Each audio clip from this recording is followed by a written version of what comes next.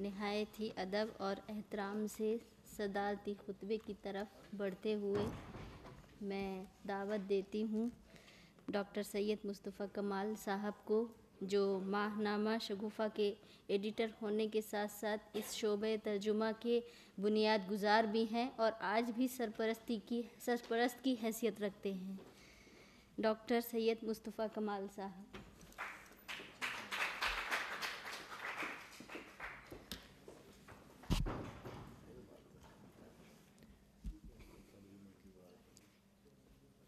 Doctor Khalid Mubashar Ahmad साहब, सदर शुब तर्जुमा, प्रोफेसर रहमतुल्जई प्रोफेसर मजीद बेदार साहब, ज़ुबैर ख़ान साहब, वहाब खैसर साहब और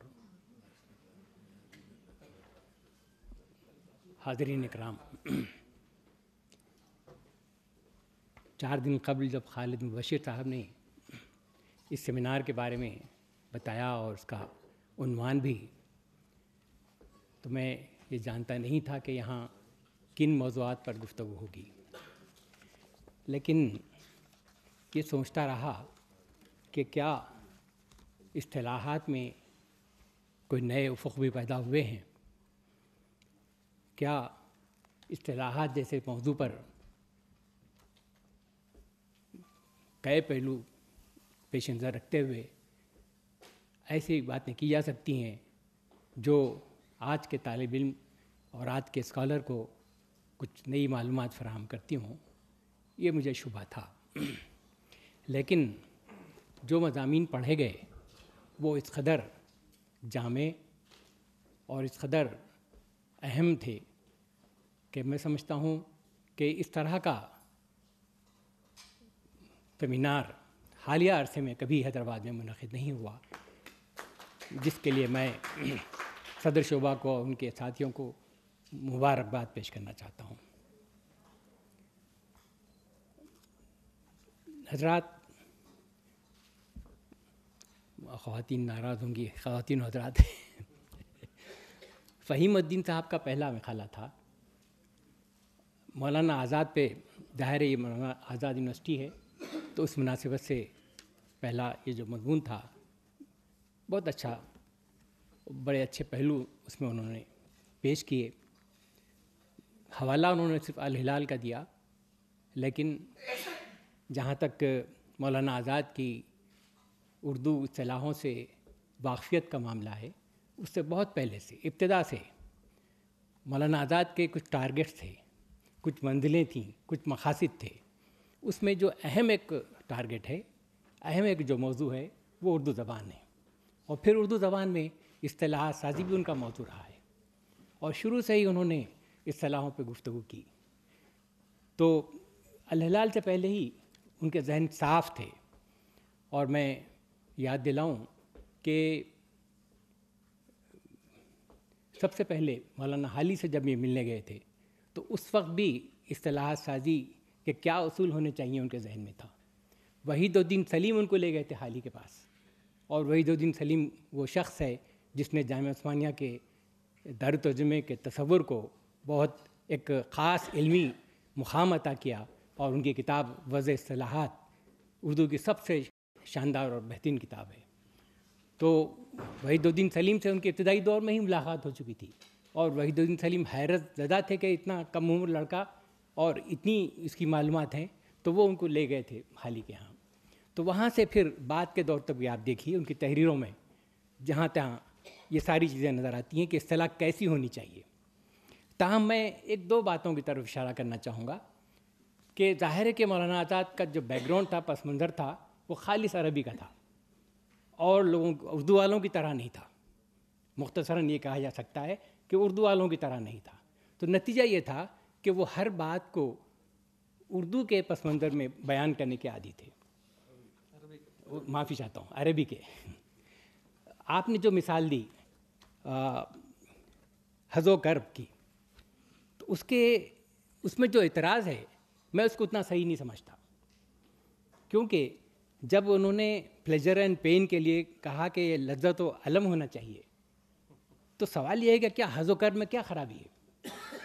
और बाद में जवाब अब्दुल माजिद दरियाबादी ने दिया, और अब्दुल माजिद दरियाबादी ने उनके एतराज़ को दरियाबुद किया। और कहा कि आप अरबी पे क्यों ज़ोर देते हैं? मैं तो उर्दू में लिखता हूँ। तो जवाब दिया गया कि जब अरबी का लफ्ज़ है, जिस ज़बान का लफ्ज़ है, उस उस लगत में उस लगत से आपको रुजू होना चाहिए। तो फिर उन्होंने जवाब दिया कि अगर जिस ज़बान का लफ्ज़ है, उस लगत से रुजू होना है तो फिर उर्दू में क्या रह जाएगा? मौलाना आज़ाद ने इसका कोई जवाब नहीं दिया। वो बात अपनी जगह सही है। तो मौलाना आज़ाद किसी कदर तजाद बयानी का शिकार थे असलाहत के मामले में। उन्होंने अरबी को अहमियत तो दी, लेकिन जहाँ तफसीली बहस की है, आसान लफ्ज़ों पर ज़ोर दिया उन्होंने। उन्होंने कहा कि मुगलक या अरबी आमेज फ़ारसी आमेज असलाहें न बनाई जाएँ, आसान, आम फहम अल्फाज असलाहें बनाई जाएँ। तो यहाँ आपको थोड़ा सा तजाद नज़र आता है। लेकिन मौलाना आज़ाद हमारे मौलमीन अव्वल में से हैं असलाह साजी में। उससे पहले भी काम हुआ है। आपने जो बात के दौर से बात शुरू की, तरीक़ तस्मिया से।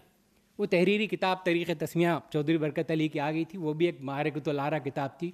उस पर भी आप एक सेशन में बात कर सकते हैं। खसूस ज़ाहिर साहब, आपने तरीक़ तस्मिया पढ़ी है या नहीं, मुझे नहीं मालूम है। आप चूँकि इस सब्जेक्ट से ताल्लुक़ रखते हैं, वो किताब चाहे कहीं मिले तो पढ़िए।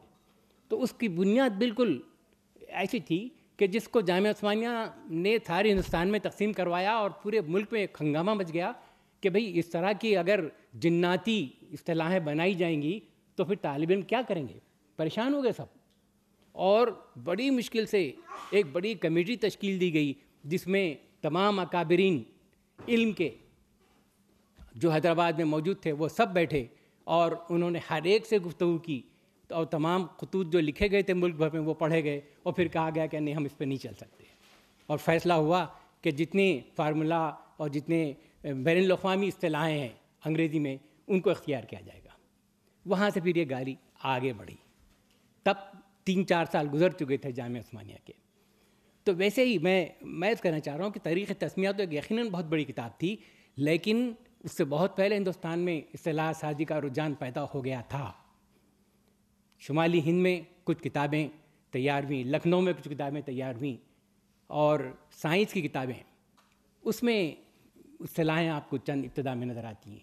फिर दिल्ली वर्नाकुलर सोसाइटी बनी, दिल्ली कॉलेज की, और फिर साइंटिफिक सोसाइटी बनी, फिर पंजाब अंजुमन बनी, और फिर हैरत अंगेज़ तौर पर कलकत्ते में मेडिकल कॉलेज बना, उर्दू ज़रिए तालीम का, जिसमें असलाहें उर्दू की इस्तेमाल हुई हैं।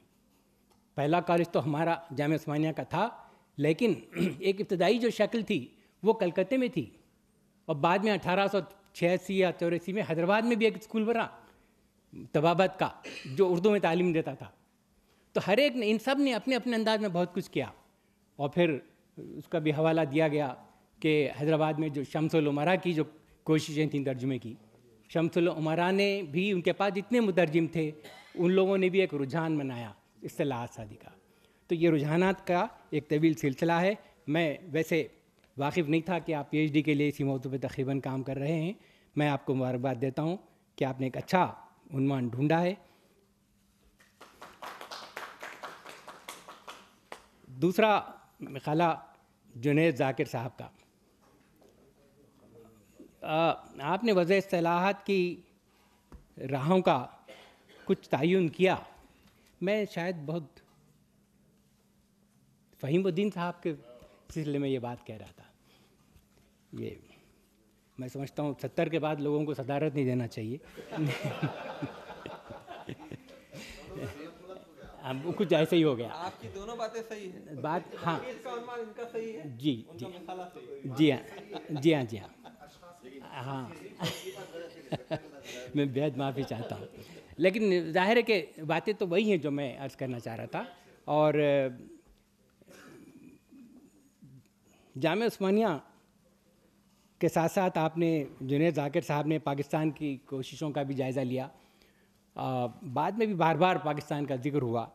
इसलिए सिर्फ़ जुनेद जाकिर साहब के साथ में मैं पाकिस्तान की गुफ्तु नहीं करूँगा बल्कि मजमू तौर पर अर्ज़ करूँगा। मुझे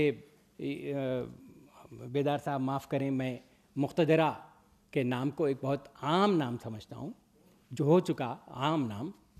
और पेशुमार किताबें उन्होंने शाये की और ये सोचे समझे बगैर कि उसकी क्या इफादियत है।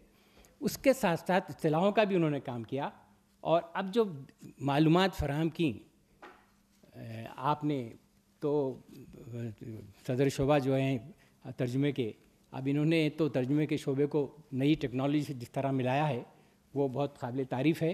और कैसी नज़र उनकी है? काश के हम सब में वो नज़र पैदा हो।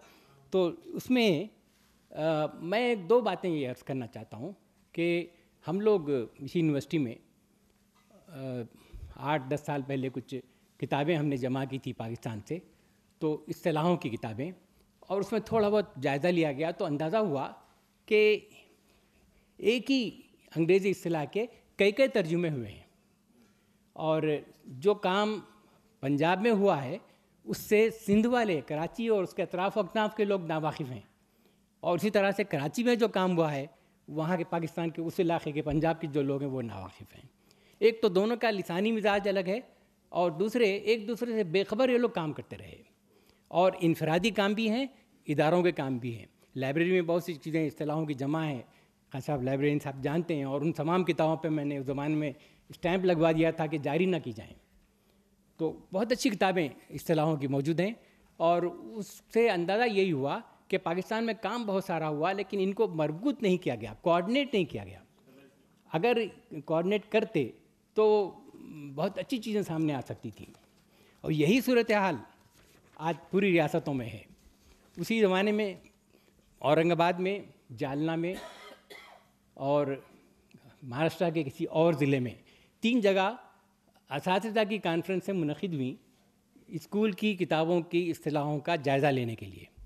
फिर उन्होंने एक नतीजा निकाला और किताबचे शाये किए कि एक ही असलाह को अलग अलग इलाक़ों में किस तरह इस्तेमाल किया जा रहा है। जब वहाँ से वफ्त आया तो मैंने पूछा कि फिर तालब की परेशानी क्या होगी? तो पता चला कि रीजनल वाइज पेपर बनते हैं, इसलिए तालब तो जो पढ़ते हैं, वही इम्तहान में लिख देते हैं। लेकिन रियासत में एक ही असलाह तीन अलग इलाक़ों में अलग अलग तरह से इस्तेमाल होती है। तो ये सूरत हाल तालीमी, यानी दरसी किताबों का है कि ख़ुद तालब को, स्कूल के तालब को एक असलाह नहीं मिलती कई कई मिलते हैं। तो पूरे मुल्क और फिर हिंदुस्तान और पाकिस्तान की बात जब हो रही है तो बहुत बड़े पैमाने पर एक काम करना पड़ेगा। और तजवीज़ पेश की गई, खालिद मुबशर साहब ने कहा, दो तजावीज़ उन्होंने रखी हैं।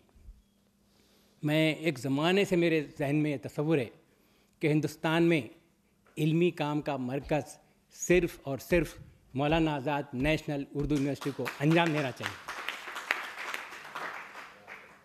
ये उसी मकसद के लिए बनी है यूनिवर्सिटी।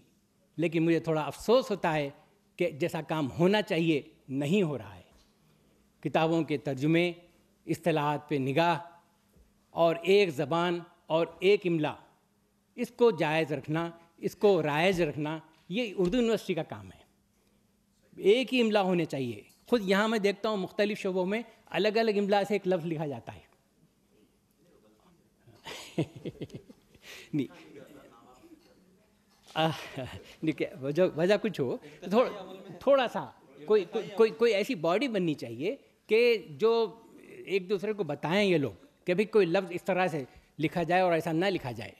बराह करम, बेर अलीफ है लिखें, बेर अलीफ या ना लिखें। मेरे पास खतूत वसूल होते हैं। तो मुझे हैरत होती है, अफसोस होता है। तो ये ये तो गलत है। तो लेकिन यह है कि बहुत सी चीज़ों में एकसानियत, पहले यूनिवर्सिटी में एकसानियत हो, उसके बाद पूरे मुल्क में एकसानियत हो। ये सिर्फ़ साउथ की यूनिवर्सिटी नहीं है, पूरे मुल्क की यूनिवर्सिटी है। तो हम कोई ऐसे काम ना करें, ऐसे लफ्ज़ ना इस्तेमाल करें, जो नॉर्थ में जो है मुस्तमिल नहीं है। हमने इब्तदा में जो ऐसे बात लफ्ज़ इख्तियार किए थे तो जायदाद, वैकेंसी के लिए हमने जायदाद तर्जुमा किया था। बाद में जाके किसी शुमाली हिंद के किसी साहब ने एहसास दिलाया कि जायदाद हमारे यहाँ इस्तेमाल नहीं होता। तो फिर हमने एक लक तब्दील कर दिया कि वैकेंसी के लिए लफ्ज़ ज़्यादा इस्तेमाल करना हमने बंद कर दिया। ये ज़रूरी है, आसामी या कोई दूसरा भी लफ्ज़ इस्तेमाल करें। तो ये बहुत पोस्ट भी लिख दे सकते हैं, कोई खबात नहीं है। तो ऐसी बहुत सी बातें हैं कि हम सारे मुल्क को एक मुल्क, एक ज़बान दें। अब यहाँ एक आध आपने भी फरमाया कि भाई मुकामी चीज़ें भी तो होनी चाहिए, बेशक होनी चाहिए। तख्लीक की सतह पर मुकामी ज़बानों का फ़रोग जारी रहना चाहिए। मैं इसका कायल हूँ और ख़ुद मैंने शगुफ़ा में दक्नी ज़बान पर शायरी भी बहुत शाये की है और नसरी भी अफसाने कभी कभार एक आध बार मैंने दिए हैं जिसमें मिज़ा हो ज़ाहिर मिज़ा का पर्चा है। तो दखनी का काम हैदराबाद में बिल्कुल होता रहा है और मुकामी ज़बानों को, मुकामी लब लहजे को, मुकामी लफ्ज़ों के तलफ़ को अहमियत दी गई है। शायरी समझ में आता है कि क्या तलफ़ एक लफ्ज़ का बिगड़ा है और किस तरह इस्तेमाल हुआ है। तो दक्कन के तक हम कह सकते हैं कि दकनी को यहाँ फ़रोग हुआ है। दूसरी रियासतों का हाल उतना अच्छा नहीं है जैसा कि जुनूब में दकनी दकनी ज़बान का है। और हजरात मजीद बेदार साहब ने ज़बानों के मारकों पर बहुत कम गुफ्तु की, लेकिन बड़ी अच्छी बातें आपने बताई। और ये कि भाषा का इस्तेमाल हम नहीं करते, लेकिन मेरा थोड़ा सा इख्तलाफ है कि भाषा का इस्तेमाल दगनी ज़बान में बहुत हुआ।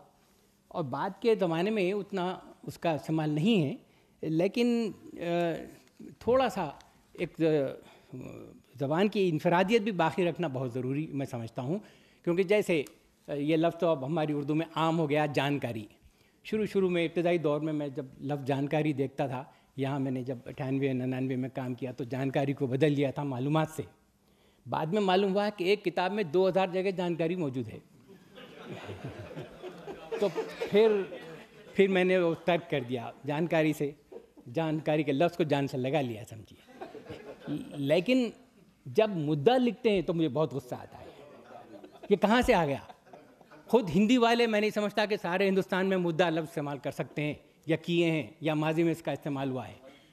तो या ऐसे बहुत से लफ्ज़ हैं कि वो उन लफ्ज़ों को हम क्यों उर्दू में इस्तेमाल कर रहे हैं? तो यहाँ फिर खालिद मुबशी साहब से अर्ज़ करना है कि इंटरनेट को छोड़िए। नहीं नहीं इंटरनेट की ज़बान के बारे में कह रहा हूँ नहीं नहीं, मैं मैं वजाहत करता हूँ। इंटरनेट जो है बिल्कुल अवामी सतह पे मकबूल हो रहा है। अवाम ज़बान के यानी बनाने वालों में से नहीं है। वो अपने अंदाज में वो लोग इस्तेमाल कर रहे हैं। जैसे वो रोज़मर्रा गुफ्तु होती है, वैसे इंटरनेट पर लिखा जा रहा है। और अंग्रेज़ी रस्म ख़त में सारी उर्दू में बातें लिखी जा रही हैं। उर्दू वाले तो रोमन रस्म ख़त यूज़ करते हैं, अक्सर यही इस्तेमाल होता है। आप बोलेंगे, वो रस्म ख़त बदल बदल रहे हैं ये लोग। नहीं बदल रहे हैं वो लोग। तो इस इस बहाव को तो रहने दीजिए। लेकिन जहाँ तक इंटरनेट से इल्मी काम का ताल्लुक़ है, वो बहुत शानदार होना चाहिए। और इसमें हम सब नाकाम हैं। और सबसे ज़्यादा एनसीपीएल नाकाम है। एनसीपीएल ने कई बार कमेटियाँ बनाई, लेकिन कोई मुनासिब काम वो लोग नहीं कर सके। कमेटियों के इजलास नहीं हो सके। और मैं ये भी देखता हूँ कि उर्दू वाले एन में जाते हैं तो उनको दो बातों की फ़िक्र होती है कि ज़रिए तैयारा उनको बुला लिया जाए और अच्छा इंतज़ाम हो, चार छः दिन के बाद अपना चेक लें और चले जाएँ। नतीजा ये होता है कि कोई काम बेहतर नहीं हो पाता। इस्तलाहों का ज़िक्र कई लोगों ने किया, मैं नाम नाम नहीं लूँगा। बहुत से लोगों ने वहाँ की इस्तलाहों का ज़िक्र किया है। यहाँ जब हम लोग 98 में या निन्यानवे में शायद हमने सेमिनार किया था और डायरेक्टर साहब के सामने मैंने कहा हाँ? माशाल्लाह, जी। तो हालाँकि उस वक्त आप यूनिवर्सिटी में नहीं थे, लेकिन आप, लेकिन उस उस सेमिनार के अहम आदमी थे। नहीं, मैं ये अर्ज़ करना चाह रहा हूँ। उस सेमिनार में हिस्सा लेने वाले अहम आदमी थे। आप, इसलिए आपको याद है खूब। तो उस उस वक्त मैंने डायरेक्टर के सामने ये बात अर्ज़ की थी कि बार बार कहने के बावजूद तमाम लिस्टें हमको मिली नहीं इस्तलाहों की, और जो असलाहें बनाई गई हैं, उस पर नज़रसानी नहीं हुई। उन्होंने उससे इतफ़ाक़ किया। और जब कॉमर्स और इकनॉमिक्स की असलाहों के लिए फरमाइश की गई तो हमको नहीं मिली। और ये बताया गया कि कॉमर्स की असलाहें बनी थी, हमको दस्तियाब नहीं है। तो ये सूरत हाल है। तो होता यह है कि लोग, उसमें इदारे का कसूर नहीं है। जो लोग बुलाए जाते हैं, वो किस हद तक दिलचस्पी लेते हैं? ये कहा गया कि भाई, दूसरी जबान के लोग, आपने दो नाम भी ले लिए, लेकिन अब वैसे लोग नहीं मिलते। उर्दू में पचास से ऊपर उम्र के हैं तो वो ज़्यादा बेहतर उर्दू जानते हैं, कम उम्र के हैं तो उनमें जज्बा कम है। ये बहुत शदीद ज़रूरत है कि हमारी उर्दू से जो वाबस्तगी है, उसको ठीक किया जाए। इस वक्त स्कूल की जो किताबें आंध्र प्रदेश में तैयार हो रही हैं, एक दौर था कि महाराष्ट्र की किताबों को नंबर वन दिया गया था और आंध्रा को उसके बाद। अब वो मुकाम शायद न रहे। अब सूरत हाल ये है कि वहाँ जो लोग जाते हैं, जो काम करके निकलते हैं, उसको अगर आप बस पंद्रह दिन बैठ के ना देखें तो कामयाब नहीं हो सकती किताब। मैं ये बात बिल्कुल वसूख से कह रहा हूँ। और वो नाराज़ हैं उर्दू किताबों के जो एन e के लोग हैं, बेहद नाराज़ हैं उर्दू वालों से कि वो लोग अच्छा काम नहीं करते ये क्या वजह है आखिर? ये गौर करने की बात है। उर्दू के इदारों को अच्छे लोग बिल्कुल अब नहीं मिल रहे हैं। जी? जी जी। अब मैं बहुत भटकता जा रहा हूँ इसलिए फिर वाह। खालिद मुबशी साहब के बातों से मुझे बहुत इत्तेफाक है, आपने बड़ी अच्छी मालूम हमको फ़राहम की हैं। और ज़ाहिर है कि जो ज़्यादा उम्र के लोग हैं, वो कंप्यूटर से जुड़ नहीं सके हैं। मैं ख़ुद अब तक कंप्यूटर चलाना नहीं जानता। जब भी ज़रूरत पेश आती है तो मैं अपने बच्चों को या जिसके साथ काम करता हूँ, उनको लेके अपनी ज़रूरत तो पूरी कर लेता हूँ। लेकिन जो आज़ादी मुझे ख़ुद कंप्यूटर पर बैठने की है, वो मुझे हासिल नहीं है।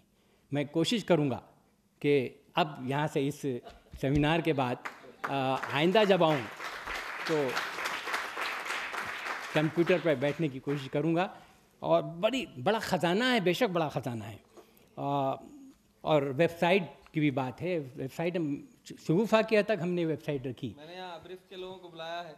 हाँ। ताकि वो आपसे पैदा करें। तो शगुफा की हद तक तो है और लेकिन उसमें खर्च भी होता है जिसका कोई वो नहीं है हमको बदल। लेकिन बहुत अच्छी बातें हैं हमारे खालिद मुबशर साहब ने फरमाई है। मैं चाहूँगा कि आप एक अपना एक ग्रुप बनाएँ और फिर एन में जो काम हो रहा है, उसमें शरीक हो जाएँ कि क्या नाकामी हुए हैं वहाँ पर। उनके पास बजट है, लेकिन सॉफ्टवेयर के कामों में और दूसरे कामों में सीडैक के कामों में उर्दू वालों ने कोई मदद नहीं की तो काम जहाँ का वहाँ रह गया। सीडैक भी नाकाम रहा। क्यों नाकाम रहा? आप ज़रा मालूम कीजिए। और उसके साथ साथ जो उर्दू के सॉफ्टवेयर के काम करने वाले हैं ये मैदान छोड़ के भाग गए दूसरी तरफ़। हमारे जिलानी बानो साहबा के फर्जंद जिन्होंने हैदराबाद के अखबारों में जिनका सॉफ्टवेयर इब्तदा इब्तदा में चला था। बरसों हुए ये रास्ता छोड़ चुके हो उर्दू वालों से तौबा कर चुके हो। क्यों? पैसा नहीं है नहीं उनको रिस्पांस पैसा नहीं है और फिर उनकी जो चीज़ें थी वो लोग चोरी करने लगे। बगैर पैसों के उनको मिल जा रहा था सॉफ्टवेयर तो उनको कहाँ से आमदनी होती? तो ये ये बहुत सारी वजूहत हैं। तो अब आप कोशिश कीजिए कि ये सॉफ्टवेयर के लेवल पर और वो जो कमेटियाँ बनी हुई हैं, उन वहाँ जो है हमारे नुमाइंदे जाएँ, इस बात की आप कोशिश करें। अच्छा आपने कहा कि अंग्रेज़ी का भोंडा इस्तेमाल होता है, उर्दू का भी भोंडा इस्तेमाल होता है, उर्दू का इस्तेमाल भोंडा तो और ज़्यादा होता है। ज़ुबैर शादाब खान साहब मैं वाकिफ बिल्कुल नहीं था। बड़ी अच्छी बातें वो करते हैं। गो के उन्होंने तरह यहाँ तवील तकरीर की उनका एक एक्सक्लूसिव लेक्चर होना चाहिए कि हम समझ सकें कि क्या मसाइल हैं वहाँ के वो क्या इदारे हैं। बहुत अच्छी बातें उन्होंने की लेकिन थोड़ा सा मैं मैं इस बात का आदि हूँ कि बात टू दी पॉइंट कही जाए। तो शायद मैंने कुछ कहा तो आ, आपका इदारा बेशक अच्छा काम कर रहा है आ, लेकिन उसमें शायद आप सही लोगों को नहीं बुला पाते हैं। और बहुत से फैसले उसी का नतीजा है कि गलत होते रहते हैं। आ, हाँ हाँ? स्टाफ परमानेंट नहीं होने के अलावा आपको लोग भी नहीं मिलते भाई। आप दावत दीजिए तो लोग नहीं मिलेंगे।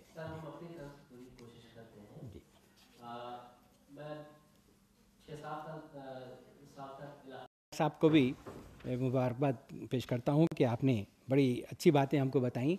और बिल्कुल एक एक, यानी कि टेक्निकल अंदाज में आपने तमाम चीज़ों का जायज़ा लिया। मौलाना आज़ाद नेशनल यूनिवर्सिटी के बारे में अलबत्त मैं इतफ़ाक़ नहीं रखता। वो हमारे रहमत साहब ने कुछ वजाहतें कर दी, उसमें मज़ीद मैं अर्ज़ करूँगा कि यहाँ के बच्चों की जो उनके जो सर्टिफिकेट्स हैं, उनको बाद यूनिवर्सिटियों में अब तक रिकगनाइज़ नहीं किया जाता। आप नाम जो है कुछ अजब सा रखें और मदरसे की तरह नाम रखें तो और उसमें इख्तलाफ का एक वो पैदा होगा। बेहतर है ऐसे ही नाम रहें। तो उसका इंटरनेशनल उसका रिकग्निशन है। जाम मिलिया इस्लामिया कभी रख दिया गया था नाम चल रहा है वो एक अलग बात है। लेकिन ऐसे ही नाम हो मैं तो कभी कभी वाइस चांसलर को वाइस चांसलर नहीं कहते वो भी मुझे पसंद नहीं आता। शेखुल जामिया वाइस चांसलर तो वाइस चांसलर ये शेखुल जामिया कहना तो आप मुसजिल क्यों नहीं करते मोहतरमा को? खत, खतीजा मोहतरमा को मुसजिल कहिए ना। कहा गया? मैं उसका ख्याल नहीं हूँ माफ़ी चाहता हूँ।